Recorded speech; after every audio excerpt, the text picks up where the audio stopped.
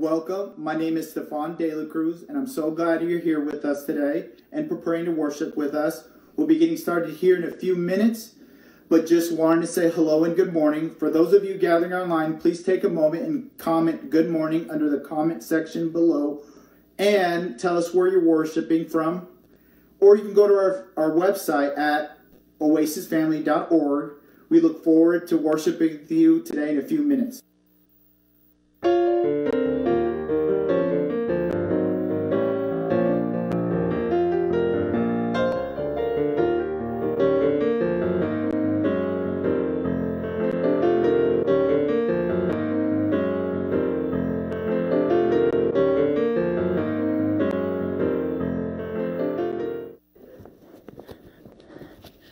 Morning. Welcome to worship.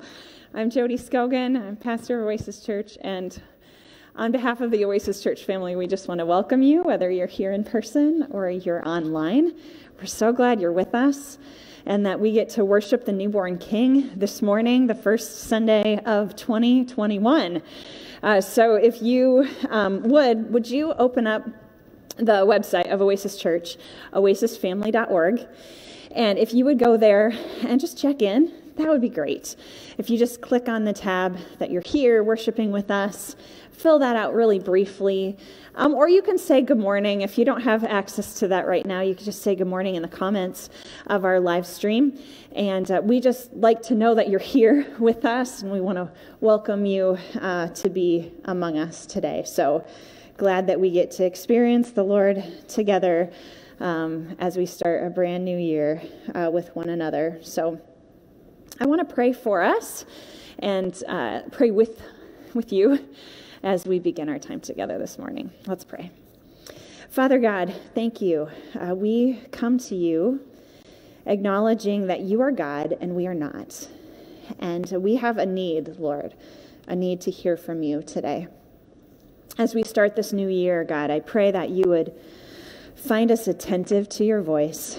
And I ask that you would just make your, your voice so clear to us today, God, clearer than it's been before. Uh, refresh us, Lord, where we need that. Bring your healing touch to us, God, where we're in need of your healing. Um, give us encouragement, God, where we're discouraged, particularly when that discouragement is not from you. And lead us, Lord. We come to you and ask for your help now. It's in the name of Jesus we pray and we worship. Amen. All right, so I'm going to invite our vocalists to come up, and we're going to be singing Angels We Have Heard on High as we continue to celebrate the newborn King. So, would you stand with us and uh, join us in song?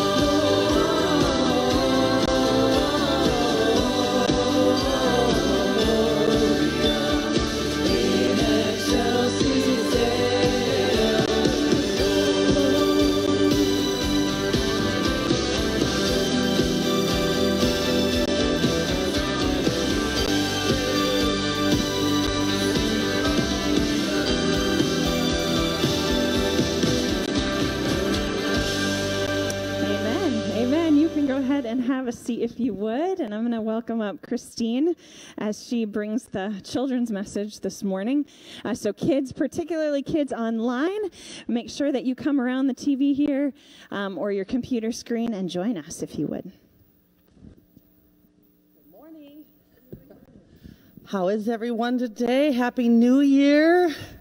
Today we're going to talk a little bit about, I have a question about directions. Um, have you ever noticed that there are so many different ways that you can get directions to go somewhere? You can, um, living, growing up in northern ish Bremer County in Iowa and having grandparents, yeah, Jody grew up there too, woohoo! Uh, having grandparents that lived in rural communities, it was usually, you know, go north three miles, then go east another two, and then when you get to the Johnson farm, you know, go take a left.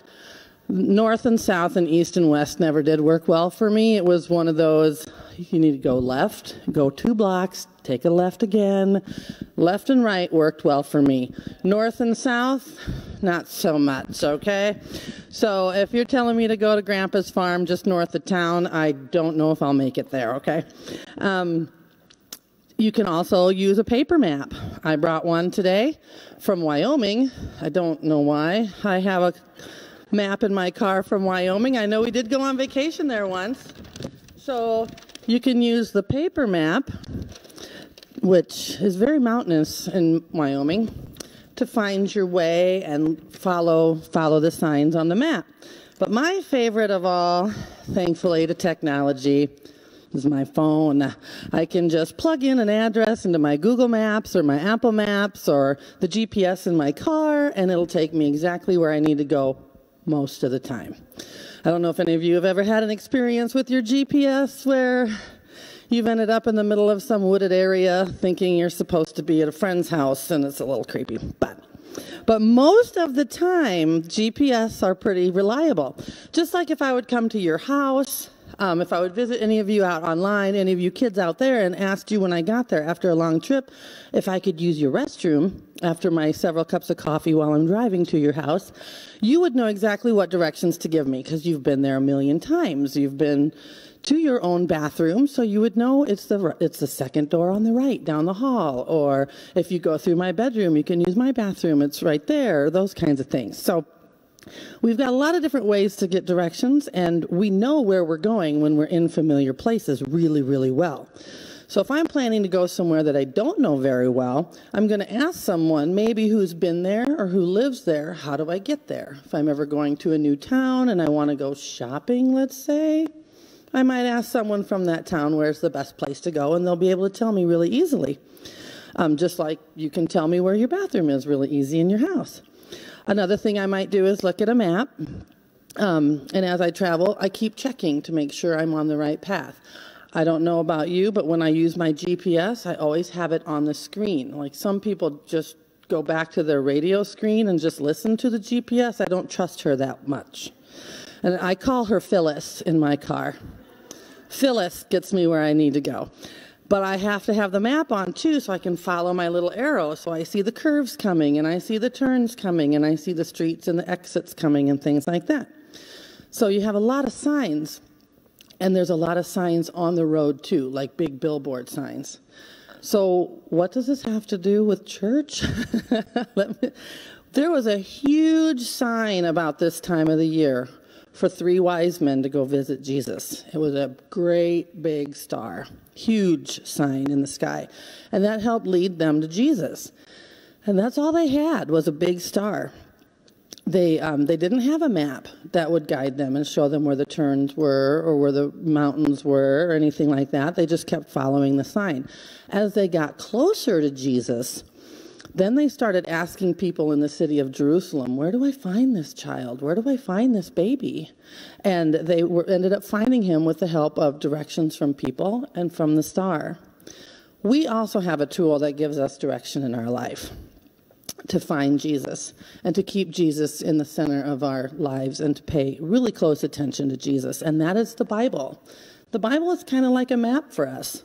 It gives us directions Um, and we can find the way by G- to Jesus by reading that, by um, reading His holy word, listening to it, digging into it, coming to worship every Sunday. It's like the map and star that leads us, that led the wise men to Jesus. And by reading the Bible every day, we can have God's help as we navigate through our world, and He guides us in the right direction. So let's close with prayer. Dear Jesus, thank you so much for providing such an awesome map for us as we follow you and go in the right direction in your path.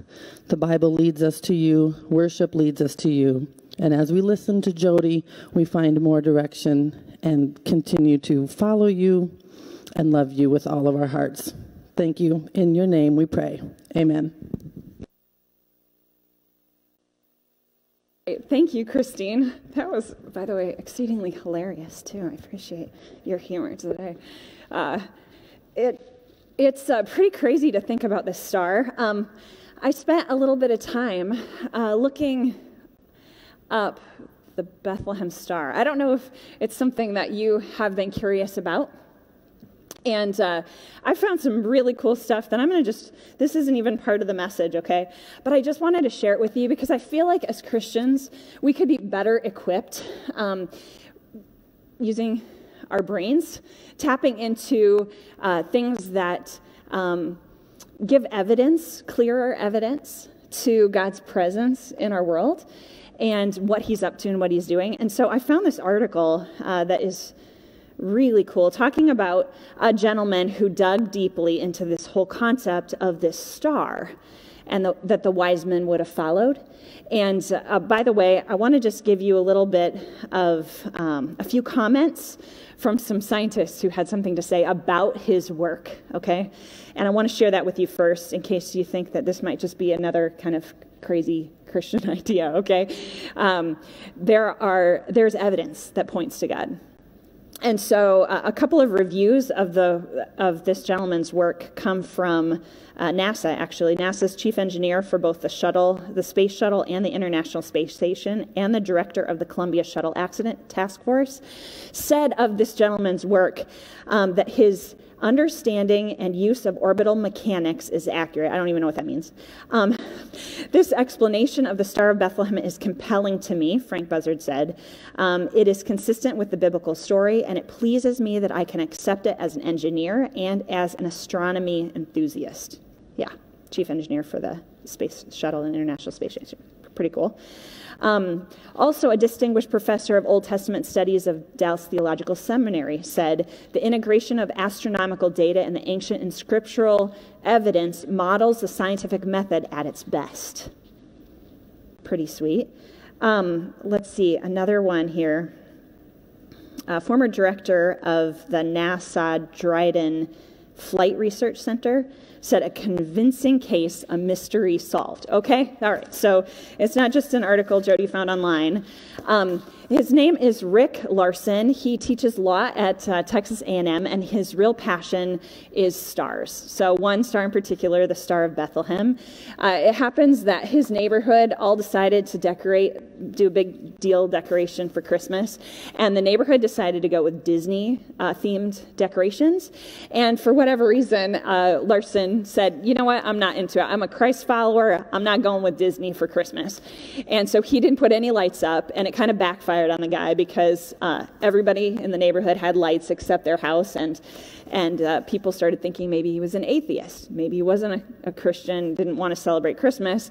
So he and his daughter Marion decided they're going to go all out. I know a few people here who go all, all out for Christmas, um, and they started creating uh, decorations for the next year for Christmas, and uh, they they created the wise men, and then she said, "Hey, we need to do a star. We need to make a star," and uh, and so Rick, being a lawyer, being somebody who's interested in the in in investigation, decided to set out and learn more about the Star of Bethlehem before he's going to put it out on, on his yard or his house, wherever he put it. And so he set out to look at the Gospel of Matthew, which we're going to be digging into today. And he listed nine qualities that he believed need to be present in order for uh, this to be legitimate, okay? The Star of Bethlehem. And, and so the nine were it signified birth, it signified kingship, it had a connection with the Jewish nation, it rose in the east. Like other stars, it appeared at a precise time. Herod didn't know when it appeared, it endured over time. It was ahead of the Magi or the wise men as they went south from Jerusalem to Bethlehem and it stopped over Bethlehem. Now, if all of those nine characteristics can be fulfilled, he felt like his research that, that this would be legitimate. And so those nine requirements ruled out the possibility of a meteor or a comet or a nova. The wise men saw the star stop. Okay? Stars don't stop. But planets periodically appear to reverse course and move backward through other stars in retrograde motion. All right. The fascination and study of the Star of Bethlehem um, didn't end there for, uh, for Rick. After years of research, he discovered that in September of 2 BC, at the time of the Jewish New Year, Jupiter's movements begin to satisfy all nine characteristics in Matthew. Jupiter, which is called the king planet. By the way, these wise men, you know, we've got like Netflix and Disney Plus and our computers and our phones. So at night, we're either sleeping or we're looking, probably doing stuff inside our houses. We've got electricity. Wise men, uh, these people who were scientists in that day, who studied the stars and their movement, had a lot of time to do that, okay? So they kept close track. So Jupiter's movements, um, like I said, began to satisfy the nine characteristics in Matthew. Jupiter was called the king planet, okay? And it begins to move in a shallow circle like a halo to the crown Regulus, a star that's often called the king star.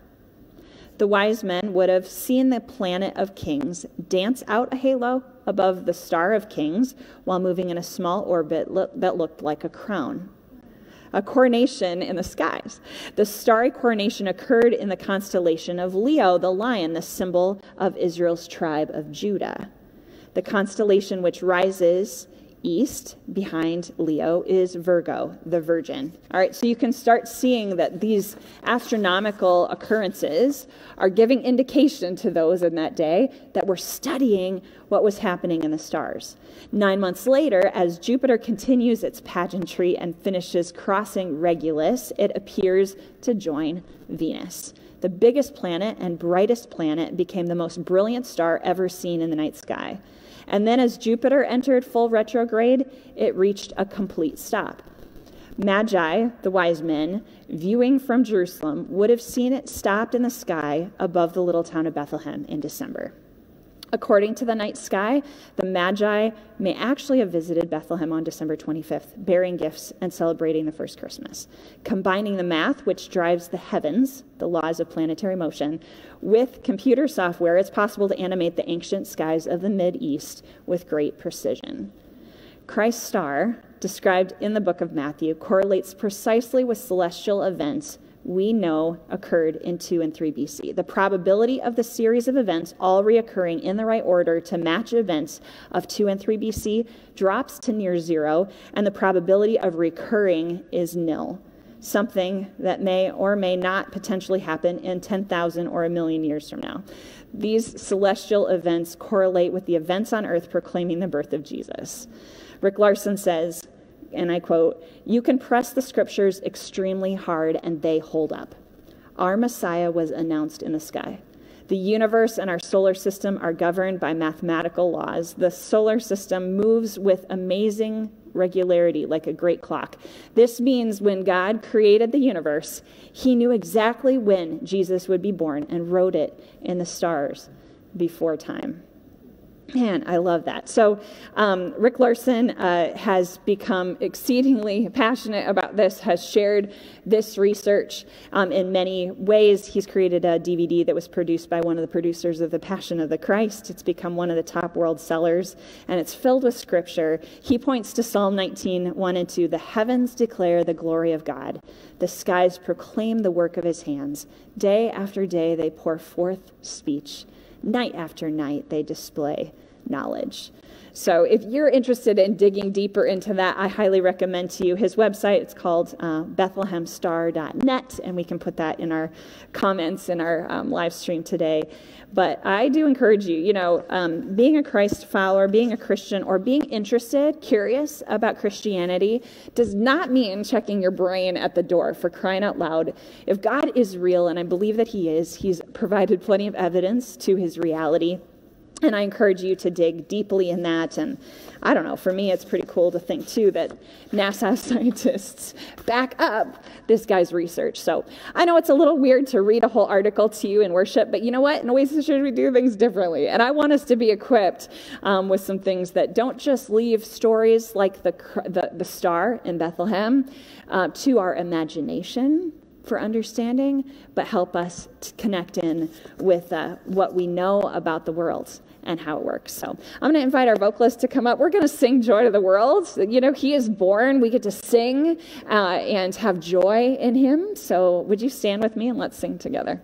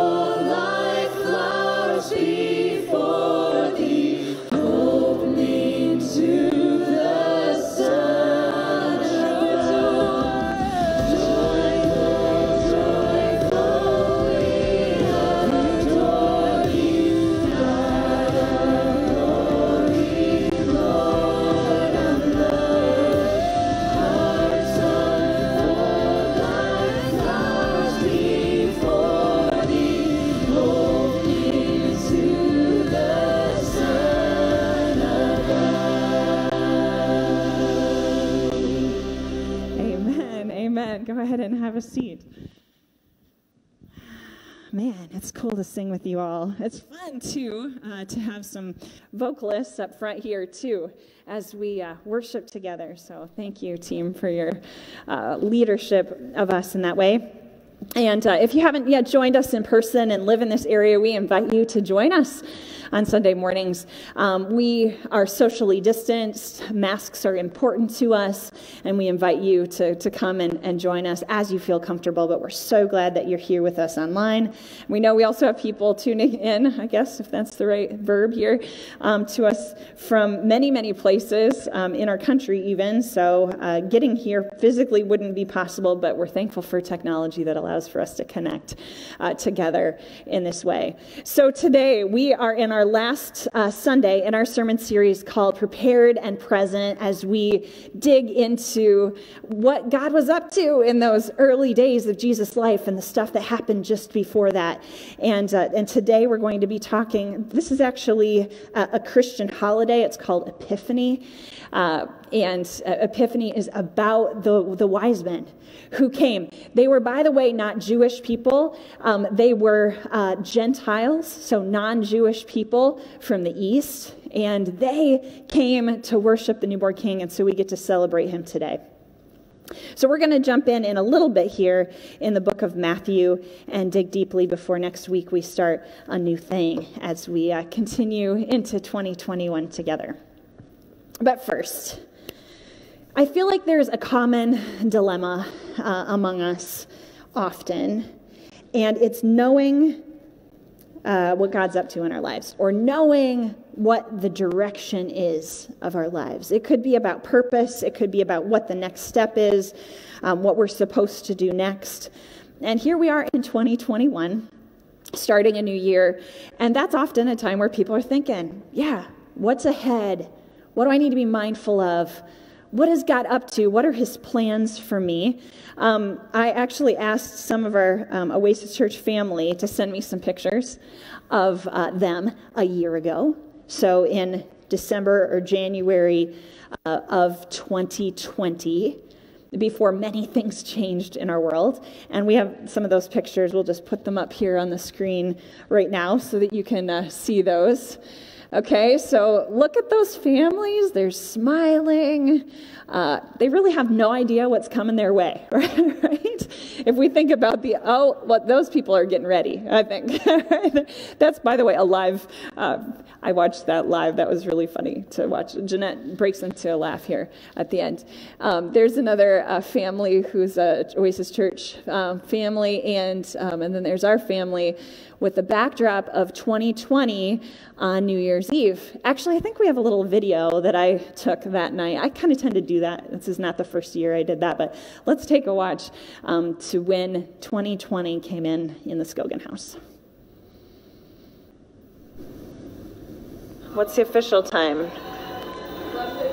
11:59 on December 31st, 2019, and this is the end of a decade and the end of a year, which we're excited about.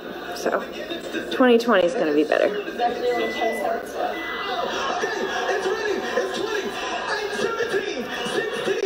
15, 14, 11, 10, 8, 7, 6, 5, 4. Somebody doesn't want to be seen. Happy New Year!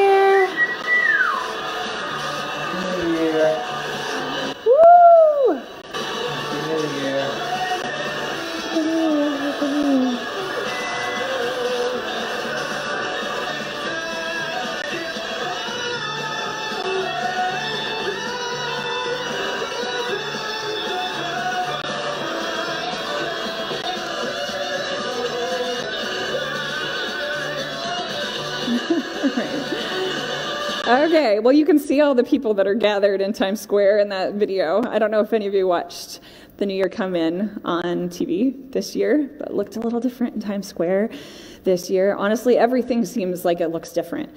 So when we look back at that a year ago, very clearly now, in retrospect, uh, 2020, right? Hindsight, is that yeah, everything's 2020 in hindsight, we can see that there are some things that those people didn't quite know. Uh, well, we didn't know at all. We're coming. And so we look into 2021 and we wonder what 2021 might hold. I have a good friend who's wanting to know the direction that God has for her in her life desperately for months has been wondering, God, what is it that you would have for me? What is the direction? In fact, she says that she would like a billboard. Anybody else with her? that would be helpful to not just get it in a subtle message from God, but could, could I have a billboard, please? So that I have a lot of clarity around what it is that you would have me to do. Well, a year and four months ago, um, I would say uh, in the Skogan household, we experienced, I'd call it a relational derecho. Uh, it was an exceedingly difficult time. Um, it was unsettling for us. Um, it was confusing. Um, we had financial insecurity related to it. Um, we, uh, it was heartbreaking and I have never been at such a point in my life where I really just didn't know what God was up to. And I didn't know what was ahead. I didn't know what his plans were. I didn't know the directions. I didn't have the map. I didn't have the GPS talking to me and telling me what was to come next. And during that time, um, an image, uh, a metaphor, analogy was really important to me, and that was of being kind of in a pit. I felt like I was in a pit or that we were in this hole. And um, I think maybe God gave me this picture of just one handhold and one foothold at a time. That I didn't need to know all of what was next, but just the next, what would be the next handhold? Um, what would be the next foothold? And part of uh, God's provision during that time were people coming alongside us and reminding us, praying for us of God's faithfulness, and encouraging, I think, us to take that next handhold that was available and the next foothold that was available. Um, maybe you've heard about Wonder Woman. It came out this recently, last couple weeks, a new Wonder Woman, 1984. Uh, and I actually, because I had a couple days off and vacation this week, I watched both the last Wonder Woman movie that came out in 2017 and the one that just came out. Uh, both, I watched both this week. Well, the first one, 2017 version, um, the first one that came out shows the scene where Wonder Woman um, determines to scale this tower flat faced tower. And so she takes off and she runs and she leaps, you know, in the ways that only Wonder Woman can do. And she um, grabs onto a handhold on the tower. You would think, sweet, she made it, she's arrived, until that handhold breaks off the edge of the face of the tower. And so she's scrambling, and somehow she finds a foothold or handhold. And then what she does from there, in order to get to her goal, is she makes her own handholds and her footholds. Okay, now Wonder Woman can do that. I am not Wonder Woman. I know that's no surprise to anybody, particularly my family. And, uh, and so I was blessed um, to see God provide the next handhold and the next foothold. Maybe it was even just, am I drinking enough water so that my brain can do the work that it needs to do? in this really stressful, difficult time? Am I getting the sleep that I need? Am I having time with my family? Am I, am I finding opportunities to laugh? You know, God desires and designed us to have fun, to have joy. Am I um, in His Word? Am I talking with Him very honestly? There were lots of very honest conversations. Um, and there continue to be in our house as we ask for God's will to be revealed. But often it doesn't come in the form of a billboard, it comes in that next handhold and that next foothold. God, what is it that you would have me do? So, do you need direction? Is there an area of your life that you are looking for some direction, for some clarity, for knowing where to go and what to do and how to do it? I just, am, I just want to welcome you here, that you're not alone here in that pursuit that Oasis Church isn't filled with people that have it just all figured out. where everything just makes sense and we just do, do, do, do, do. Life is awesome. It's real here. It needs to be real here. If it's not real here, what the world are we doing? Because we're not superheroes and we're surely not God. And yet we desire to hear from Him, right? We desire to know what He's up to in our lives. We need His direction. Well, God has something to say about giving directions in the best possible way. And we're going to dig into Matthew chapter 2 today as we discover some of the ways that God was revealing what he was up to. So if you have your Bibles or your phones, open up to Matthew chapter 2 in the New Testament. We've been talking about the birth story of Jesus, and this, uh, this part of uh, the Gospel of Matthew digs into a part that doesn't often appear, well, I don't know if it does appear, in uh, nativity so- stories or sets. It doesn't show up on Christmas cards, okay? It's actually quite disturbing parts of this parts of this story in Matthew chapter 2. And, but we're going to go there because it's in God's word and he's got stuff for us. Now, we're familiar with the wise men, and so Matthew chapter 2, uh, we'll start with verse 1. Now, after Jesus was born in Bethlehem of Judea, in the days of Herod the king, behold, look, wise men from the east came to Jerusalem saying, Where is he who has been born king of the Jews? For we saw his star when it rose and have come to worship him. Now they come to Jerusalem because that's the heart, that's where the ruler, that's where King Herod is. And surely if there's a king that's been born, we ought to be going to Jerusalem where we're going to find out from the, the, the, the center place of where this brand new king is born. And so Herod, who is king, hears about their pursuit, hears about their search. And you would think that, well, I don't know what you would think about Herod's response, but here's the deal Herod wasn't happy he was not happy about any type of rumor of somebody else being king. That's his job, thank you very much. Here are these men from Arabia. And so when Herod hears that they're in search of a king, and not just to look at him, but to worship him, he's not happy. You've heard this phrase when mom's not happy, nobody's happy. I heard a new one this week it goes with it. When mom's not happy, nobody's happy. But when grandma's not happy, run. now, I wish I was joking about Herod, but, uh, and hopefully your grandma is. Um, is nice enough. But Herod wasn't. He was not happy, and he was not. Um, he, he was ruthless as a ruler. Herod was so power hungry and so, uh, man, the, the adjectives could go on and on. Listen to a little bit about Herod. So, Herod, um, in order to protect his kingship, had two of his sons killed because they were a threat to him politically. He had 10 wives. Um, Mariamne was, her, uh, was his favorite. And out of suspicion for her lack of political loyalty, he had her killed. He was brutal. What, what he would do uh, after her death is he would walk around the palace and he would cry out for her, call out her name. And he would have his servants go looking for her. And when they couldn't find her, he would have them beaten. This dude had, ugh.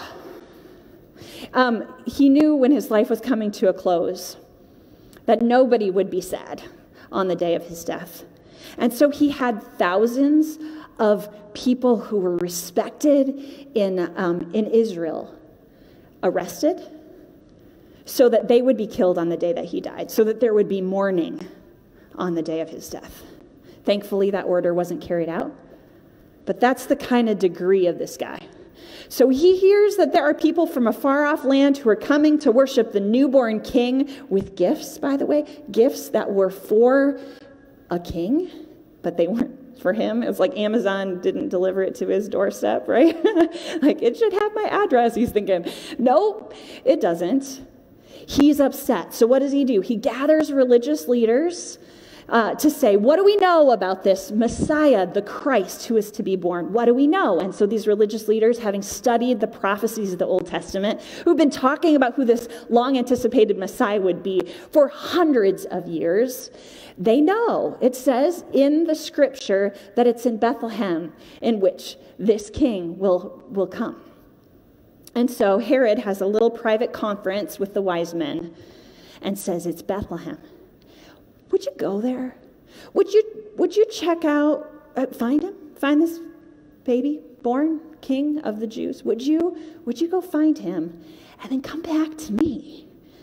Because I want to worship him too.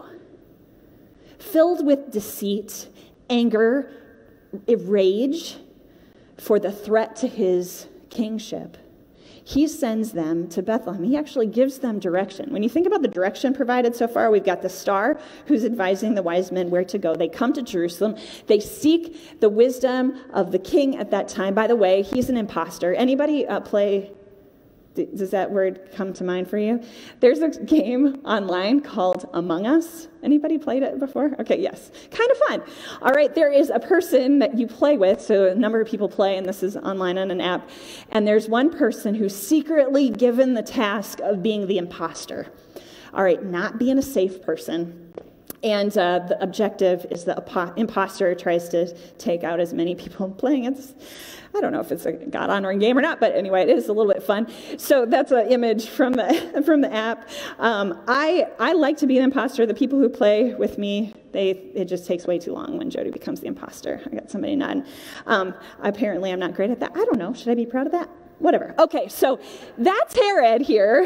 okay, Herod is the impostor king. He might be sitting on the throne, but when it comes to the one who really knows authority, who really knows what kingship's about, who really knows what the kingdom is to be, and that would be God, we are clear that the, the, the real king is the one who has just been born and has been laid in a manger, a feeding trough for animals. That's the king.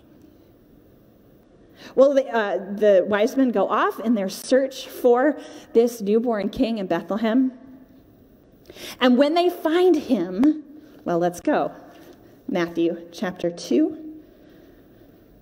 Well, I love this too. Then you see the star, and I'm glad we read that earlier. So, verse 10 when they saw the star after talking with, uh, with Herod, they rejoiced exceedingly with great joy. And then going into the house, they saw the child with Mary, his mother, and they fell down and worshiped him. Then, opening their treasures, they offered him gifts gold and frankincense and myrrh, gifts fit for a true king. This uh, myrrh, rare antiseptic that's actually used in embalming in that time exceedingly expensive. Frankincense, gold. Gold was found in Arabia. So these gifts that they came, they were offered. They open their treasures, they offer him gifts.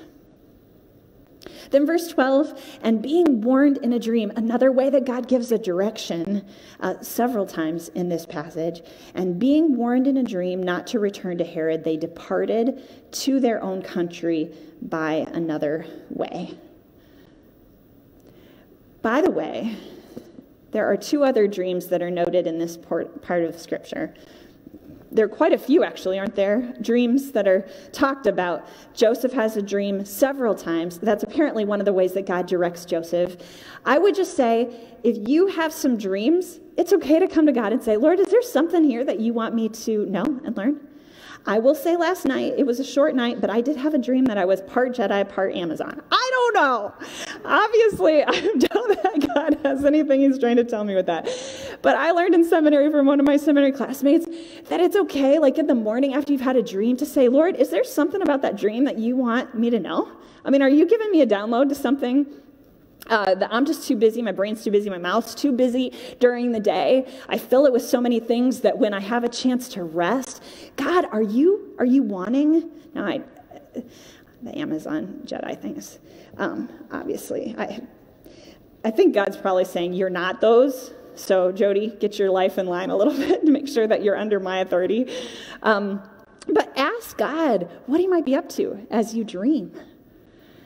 That's one way that God can give us some direction. Another way is to come alongside other people who will help us understand what God might be up to. In the, in the case of my friend that I was mentioning earlier, the one who wants the billboard, frankly, I feel like I can see very clearly her billboard. Now, she can't, and maybe I'm wrong, uh, so I'm talking to God about it. But we need other people to come alongside us. That's one of the ways that God provided for us in our very, very difficult uh, days and weeks and months um, of our most difficult season uh, that we've faced as a family. People coming alongside, sometimes saying, asking important questions that help us find that next foothold or the, that next handhold. Well, uh, we see some clear ways that God directs. And he does that in some really interesting uh, things. Then Joseph has a dream, and God tells him, you need to depart, you need to leave. Herod is on a mission to destroy this child. Go to Egypt. So that night, Joseph and Mary and this baby Jesus pack up. Now, is this something that a new mother would like to do? We probably can figure no right? In fact, you know, I've talked with a young mom here um, in the last few months who's had a baby, and um, and during this COVID season, you know, she had hoped that she would be able to be around family as this little one is in her very first months and first year.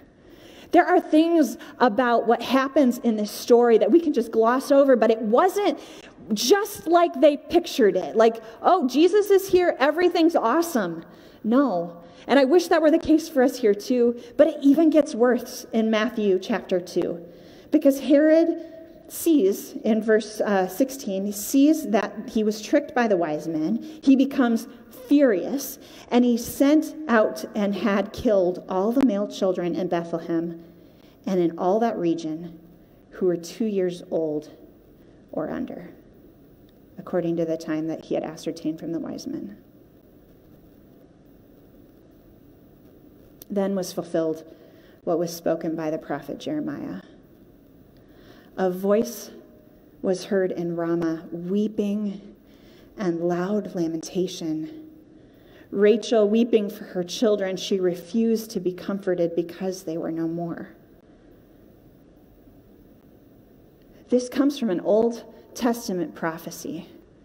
But when we dig into what's happening at that time when that prophecy is being retold in Matthew, we realize there's so much going on for God's people heartbreak, disillusionment, confusion. God, I thought that with you everything would be awesome. You know, that isn't the case.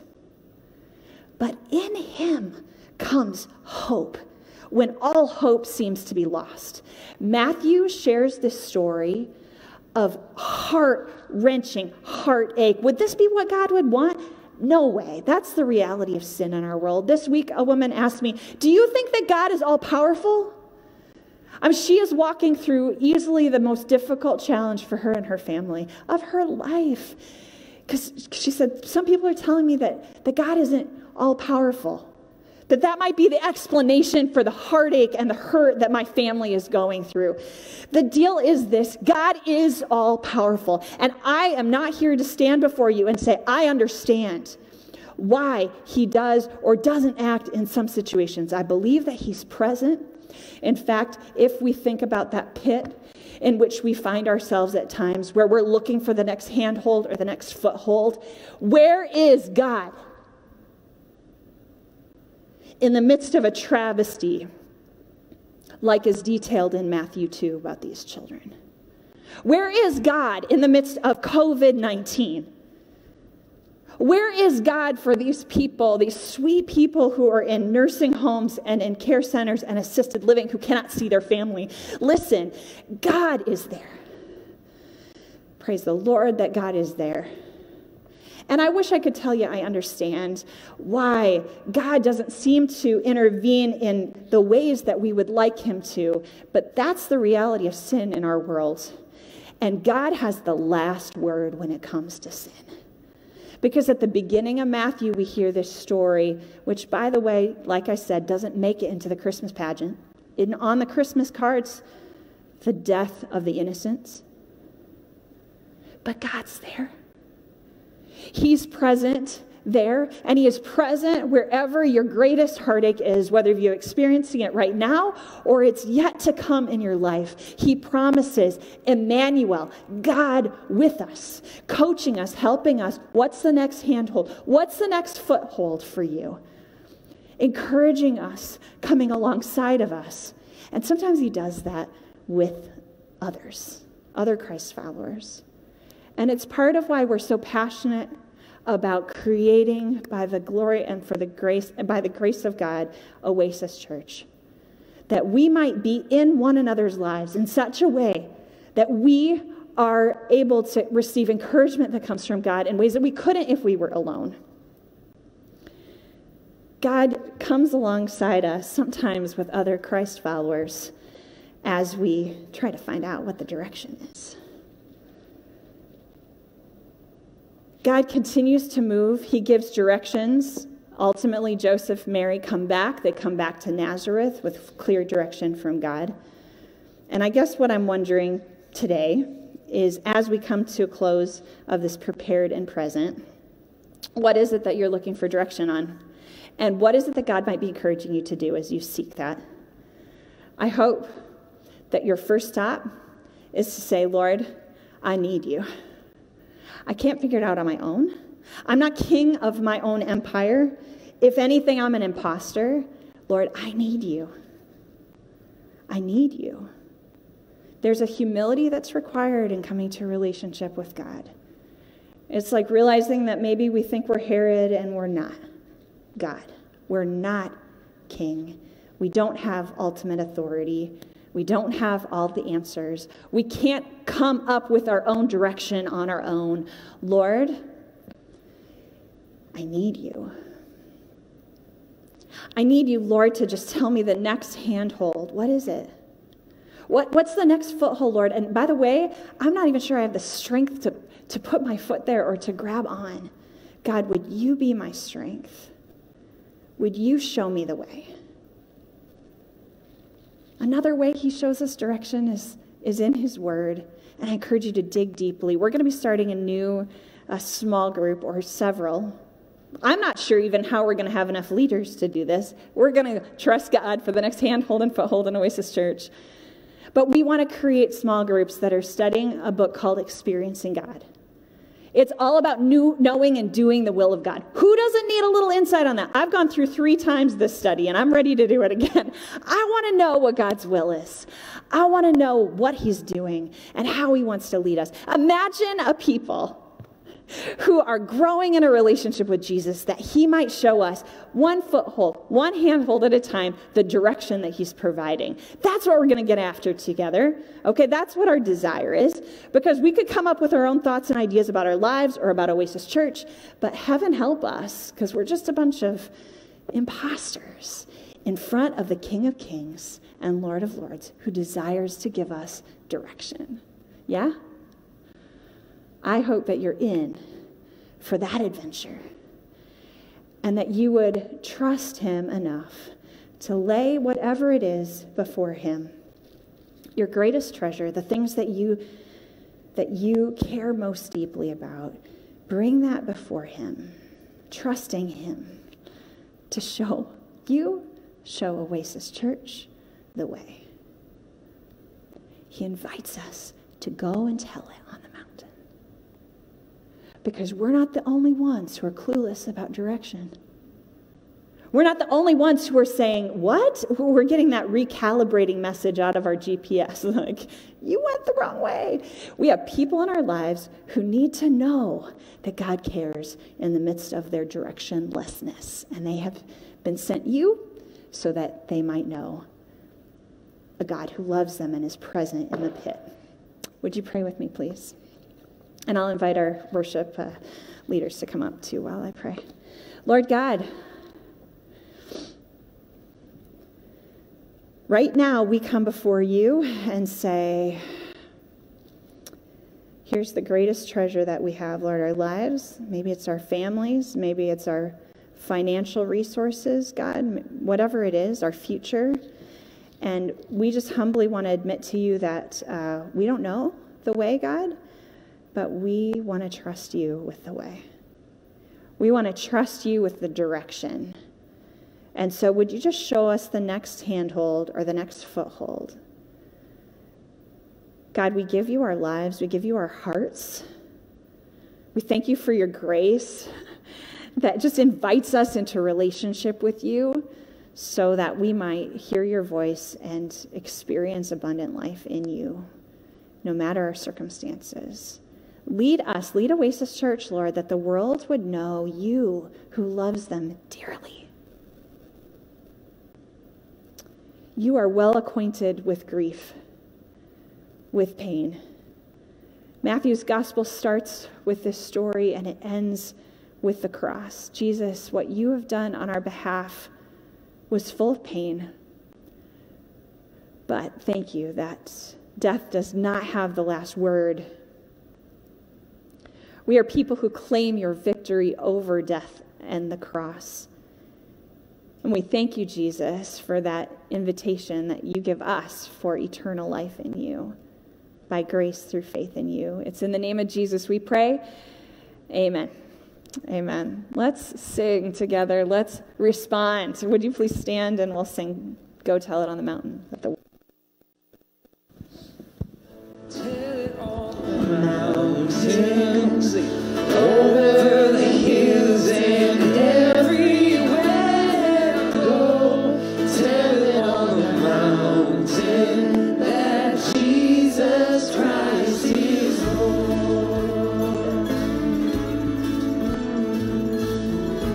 This is good news, so we want to proclaim it and own it ourselves.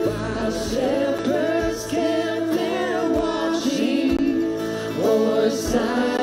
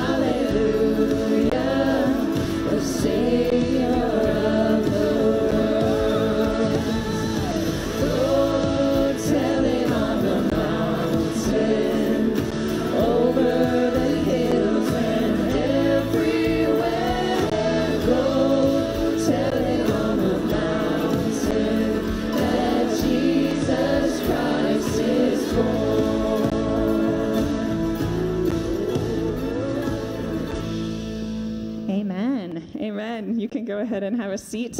Just a couple of closing announcements for you uh, that I want to tell. Um, if uh, again, if you haven't checked in, we encourage you to do that online if you would. Please, if you are interested in um, in giving tithes and offerings back to God through Oasis Church, we invite you to text 84321 um, with the amount. That's a secure giving platform, also our website. If that's something that God has prompted you to do as you worship Him, uh, it's kind of like those those wise men. They bring before Him treasure, and that's um, an opportunity that we have to worship Him in that way. So we invite you to do that. Well. Uh, I know I just made you sit down, but we're going to be ending here in a minute. Would you stand? Let's uh, uh, receive the sending. Okay. May the Lord bless you and keep you, make his face shine on you and be gracious unto you. May the Lord look with favor on you and give you his peace. In the name of the Father and the Son and the Holy Spirit. Amen. Amen. God bless you. Thank you for joining us here this morning in person and online, and we'll see you next next Sunday. Happy New Year.